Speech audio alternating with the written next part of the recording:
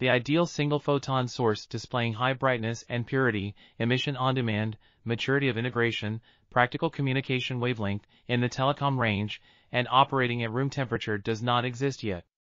In 2018, a new single photon source was discovered in gallium nitride, GaN, showing high potential thanks to its telecom wavelength emission, record high brightness, good purity, and operation at room temperature. Despite all these assets, its coupling to photonic structures has not been achieved so far. In this article, we make a first step in this direction.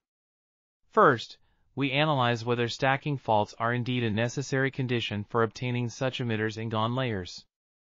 Then, we discuss the challenges associated to a low spatial density and to a spectrally wide distribution of emitters, which necessitate the location to be determined beforehand and the photonic structure resonance to be tuned to their emission wavelength.